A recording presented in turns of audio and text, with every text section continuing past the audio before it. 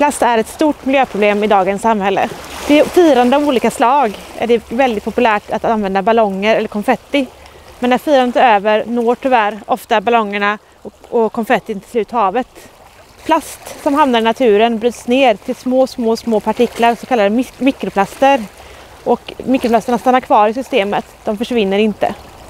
Eh, djuren i havet äter plasten, eller mikroplasterna, och det fastnar i djurens matsmältningsorgan och djuren kan svälta ihjäl.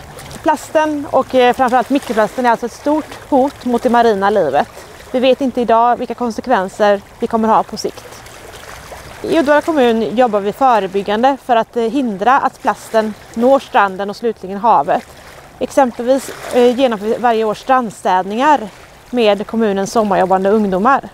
Vi jobbar mycket med informationskampanjer även eh, med andra kommuner och i andra sammanhang, bland annat genom Renkust och KIMO som är organisationer som jobbar för att motverka nedskräpningen i havet. Många av kommunens skolor och förskolor är dessutom med i Håll Sverige Rent där man går ut och städar i kommunen.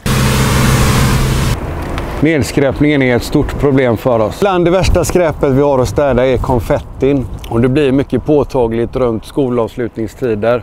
Det är väldigt svårt att sopa upp konfetti för med den här maskinen så även om vi borstar gator och annat så yr konfettin eftersom den är så lätt. Den lägger sig på gräsmattor för att sedan blåsa därifrån. Det hamnar i våra dagvattenbrunnar för att sedan hamna ut i vattnet. Att slänga skräp ute är förbjudet. Vi har flera hundra papperskorgar i staden som kommunen tillhandahåller. Jag skulle vilja uppmana alla att slänga sitt skräp där i. Vi rektorer här på gymnasieskolan, vi jobbar nu väldigt intensivt för att årets studentfirande ska bli så hållbart som möjligt. Vi har de senaste åren märkt att skräpet har ökat och också en ny form av konfetti som innehåller plast. Vi är ute i klasserna och informerar om studenten så pratar vi mycket med eleverna kring detta. Och nu är det ju inte eleverna själva som slänger mycket av de här konfettin utan det handlar ju om att de för den här informationen till sina vänner och bekanta och anhöriga.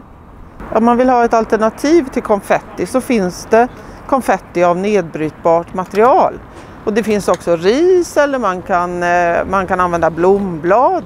Eh, istället för ballonger kan man blåsa eh, såpbubblor. Så, så blir det inga rester av det som är, inte är bra.